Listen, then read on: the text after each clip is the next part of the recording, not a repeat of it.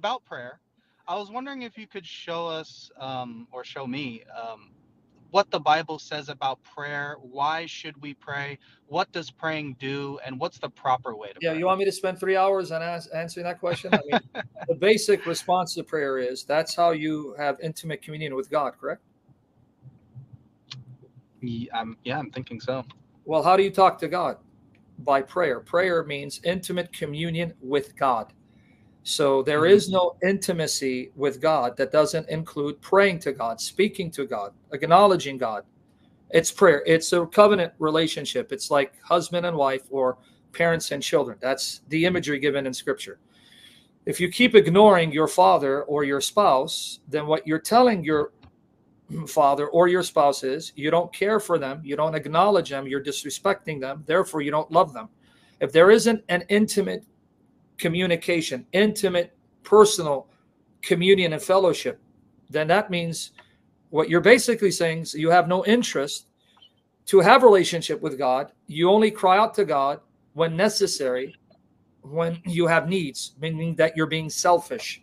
So that's the essential reason why we pray to be connected to God, to have fellowship with God, communion with God. And another reason why we pray is to discipline ourselves. These are spiritual exercises and disciplines because Paul talks about the Christian life as discipline, as training. 1 Corinthians 9 24 to 27. The more you train spiritually, the stronger you become, the healthier you become spiritually because we're accustomed to the flesh and the things of the flesh. It is unnatural to do the things of the spirit, but we have to come to the point where that becomes natural. Do the things of the spirit, and things of the flesh become unnatural. So that requires discipline. It's like training, it's like exercise. 1 Corinthians 9 24 to 27. So when Catholics or Orthodox have rote prayer, when they say, Well, why do you do it repetitively? It's because this is the way of training yourself and building up your spiritual muscles. It's like going to the gym and doing chest one day, back one day, doing the same exercise over and over again.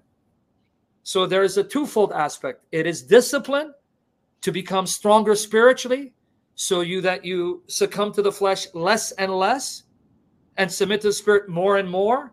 And it's your way of being intimately connected and having intimate fellowship with God who loves you. Those are the two main aspects among many. But again, it will require a series for me to go through that. But that's yeah, a no, but you speak the truth. That's exactly what I've I've experienced. Thank when you, I buddy. pray more, thank you. I grow closer to God, and He answers my prayers Thank more you. effectively. I and when I don't, I go away. Thank you when You you speak the try to truth. speak the truth because if you said I was speaking lie, then that means I must be lying because you're the standard, Kay. True. Here's what they taught. Are you ready? Yeah. Okay. Jesus is the logos. Greek logos can mean reason or word within God. He is the reason of God within God because God has always existed with reason. He's never existed without reason, right? Okay. That reason, Logos, is who becomes Jesus. He's within God, uncreated, because God has always existed with his Logos and never existed without it. Likewise, the Spirit being his divine breath, God has always existed with his breath, never existed without it. So the reason and the breath exist within God before creation. That means they're uncreated, right? If they're with God before creation, correct? Clear. Okay. So when God was reasoning within himself, having communion within himself, he was reasoning with his logos and by extension, the spirit. This is what they understood. So then they believed that when God wanted to create, this is their understanding. So when God wanted to create creation from nothing, he summoned the reason that was in his mind, divine mind, summoned that reason out of his mind, what they would say out of his heart. Remember, God is spirit. So when you say heart and mind, you're not talking about physical, right? I understand. Okay, an analog, analogy, analogy, analogous. All right, anyway. So the reason comes out from God's mind or his bosom and heart. And that act of bringing forth out of himself the reason, that's the act of begetting. So he comes out of God, doesn't separate from God. And that act of him coming out is the moment when you can call him the Son. He becomes the Son but that's before creation. So the word springs forth, that act is springing forth, but he's now still inseparable from God. And then the spirit is breathed out. So here now you can see the differentiation that was within God. But now you see because they're coming out of God without separating from God before creation, and then God uses the word and the spirit to create. Mm. Is that like a specific Bible passage to like? Yeah, they would appeal to verses where, yeah, Psalm 45, they believe that referred to it. Proverbs 8:22, Job 33, 4. That's how they understood the language of these texts. But these texts are showing that the reason of God, the word of God, the wisdom of God, the breath of God are eternal to God, uncreated, and from God, not from creation. This is where they're not getting it. Creation means to be created out of nothing or from that which is created. So you're created because you came from created things that came out of nothing, right? Right, okay. That's not what they taught about Jesus and the Spirit. None of them taught that. I have their writings.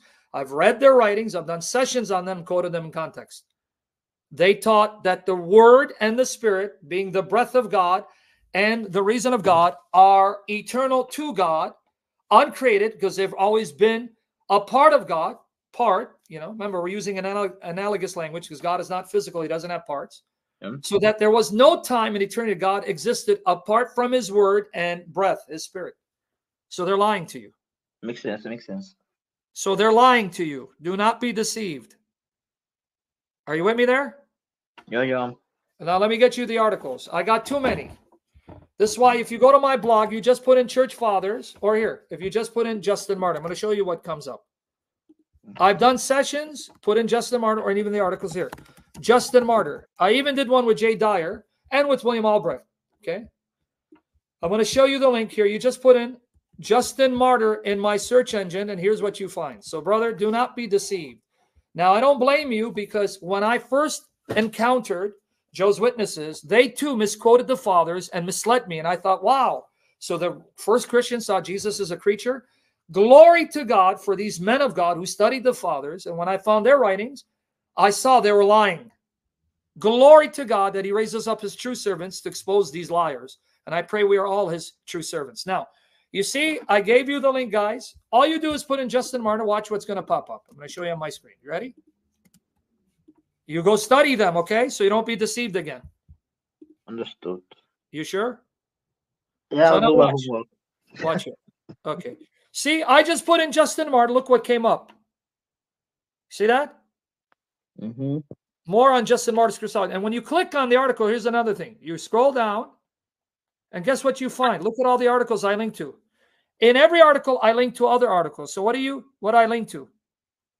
Justin Further. Martyr.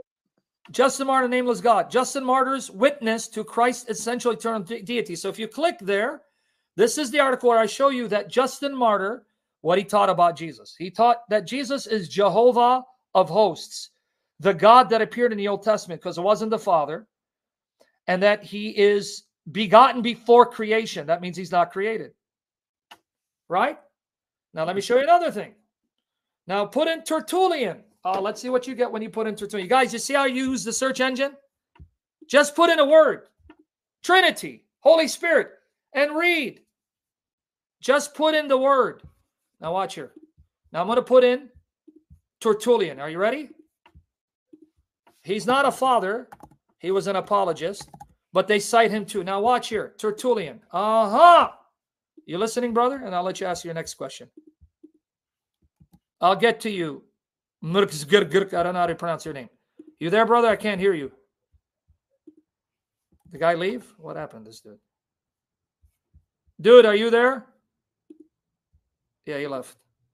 Okay, guys, you see how that works? All right. You see how that works? Now, here, you go to Tertullian. Watch what you find. I guess he left. Okay. Tertullian, right? Tertullian and Mary's virginity. Tertullian of Carthage on infant baptism. Okay.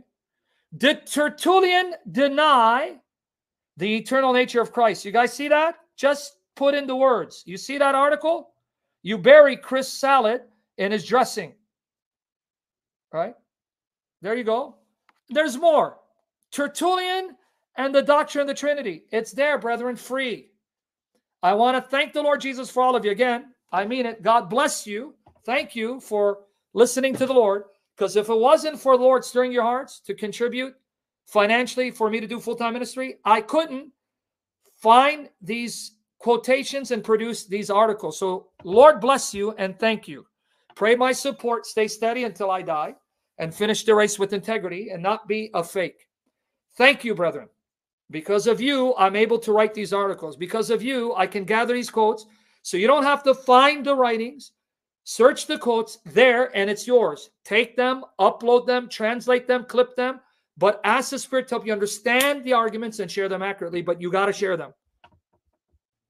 Okay, good. Praise God. So you left atheism. Now you know the true God. What's going on? And so I was I first started with the New Testament. I read I, the, not, I read the three Gospels, part of Acts. Then I went to try and read the Old Testament. Good. My Man. problem is when I read the Old Testament, it seems like like they're two, they're not the same. They don't have the same character. Like No, the character in Jesus. you're, you're coming to the faith, you're a babe in the faith. You don't still understand God's nature and how the Old and New Testaments are consistent. So it's going to take time for you to grow. You just came to the faith out of atheism.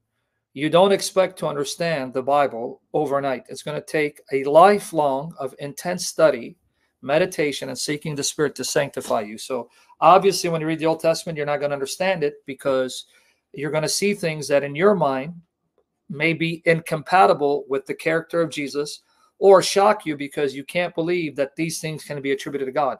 We all go through that phase. Everyone goes through that phase. But the more you study, the more you pray, the more you meditate, God then gives you wisdom. And then you finally understand, oh, now I see. But that's going to take time, brother. It's not going to happen overnight.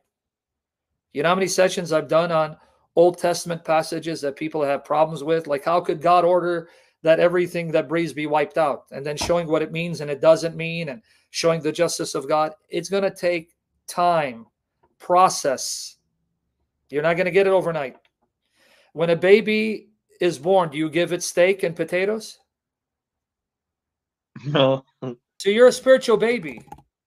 You're now suffocating because you're stuffing yourself with meat and potatoes. So what does the Bible say about you here? First Peter 2, verses 1 to 2, but we're going to read all the way to 3, right? First Peter 2, verses 1 to 2, but we're going to read all the way to 3. You're a baby, man. You just came out of atheism. Glory to God. Now you know God exists, and the true God is the God revealed in Jesus. But you're a baby. So in First Timothy 2, verses 1 to 3, therefore, laying aside all malice and all deceit, and hypocrisy and envy and all slander, like newborn babies, long for the pure milk of the word, so that by it you may grow in respect to salvation. If you have tasted the kindness of the Lord, you're a baby, you're on milk. You're now going and you want meat and you want pizza. I love pizza and ice cream, but if I give it to you, you're going to die. So um, how should how do you advise how do you advise me to start the how to read? Well, if the Old Testament is problematic because you don't understand it, then for now, just read the New Testament over and over again until you fully understood the character of Christ and know that Jesus is real, he's alive, and that the Gospels give you the actual life of Jesus and it tells you how the church was established and what you need to know. Just learn the New Testament, find a solid church that is ancient because if you came out of atheism, you need to get baptized and you need to attend church regularly. And then when you have grown to fall in love with Christ, then you go back to the Old Testament and then there are sessions. I've done in others, but I would recommend you watch all the sessions I've done on the Old Testament. But you're young now. Old Testament would be too much. I'm telling you, when I first came to the faith and I read the Old Testament, I was shocked too. But you know what saved me? You know what saved me? No. I knew Jesus is real. I knew Jesus is alive. I knew that Jesus is not dead. I knew Jesus is almighty. I knew the Bible is his word. And I knew that Jesus is beautiful and holy and righteous. So I took him at his word and I trusted him, even in areas where I couldn't understand. When you humble yourself and you come with that attitude, the Lord then will bless you with wisdom. You don't say, Wow, how can this be God? This can't be God. Okay, God says, All right, is that you think? Then I'll hand you over to your desires. But if you say, God, I know you're beautiful. I know you're righteous. I know you're good. I know you're merciful. I know you're loving. I know you're real. These passages are confusing me because I don't understand how they reflect your goodness, but I know it's your word, so I'm going to trust you and wait for the answer. And he'll give you the answer. He gave it to me, but I waited. I didn't get overnight.